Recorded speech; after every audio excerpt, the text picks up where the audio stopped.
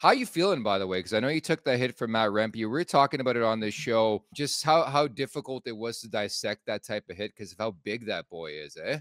Yeah, he's uh, pretty tall. Not pretty, so tall, yeah.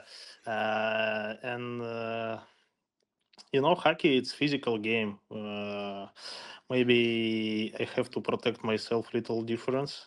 Uh, I, I was ready for this hit, but maybe don't expect it what he's so tall, you know. And like maybe I can change my position a little bit. He yeah, but he's heavy guy. It's part of hockey, you know.